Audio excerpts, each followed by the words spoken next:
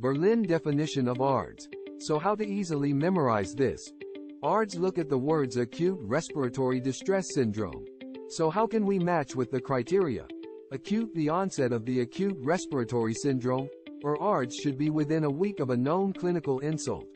Okay so there will be new symptom or worsening of the previous respiratory symptoms, such as shortness of breath, respiratory distress syndrome. So there would be something respiratory in the chest x-ray. You will see there will be infiltrates in both lungs, bilateral pulmonary infiltrates, and those should not be due to heart cause not due to heart or not due to other lung conditions, such as a nodule, there should not be any nodule or an effusion, or even a consolidation. So those bilateral pulmonary infiltrates are not due to nodule, not due to diffusion, not due to consolidation. Next word distress. So respiratory distress means hypoxia. And how we estimate hypoxia is by page-F ratio.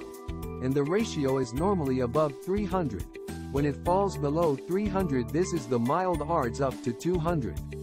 When it falls below 200 that is a moderate ARDS and when it falls below 100, that is severe ARDS. And in this syndrome as this is a respiratory syndrome, there should not be any cardiac cause of the pulmonary infiltrate, or there should not be any volume overload, which can also cause the pulmonary edema, or pulmonary infiltrate so you must exclude the cardiac causes, and must exclude any volume overload. So in summary acute respiratory distress syndrome. Acute onset within one week respiratory distress, such as chest x-ray showing bilateral infiltrates, and distress means, hypoxia and syndrome you have to exclude the cardiac cause, and volume causes, which may be associated with the chest x-ray, findings that may also cause the hypoxia.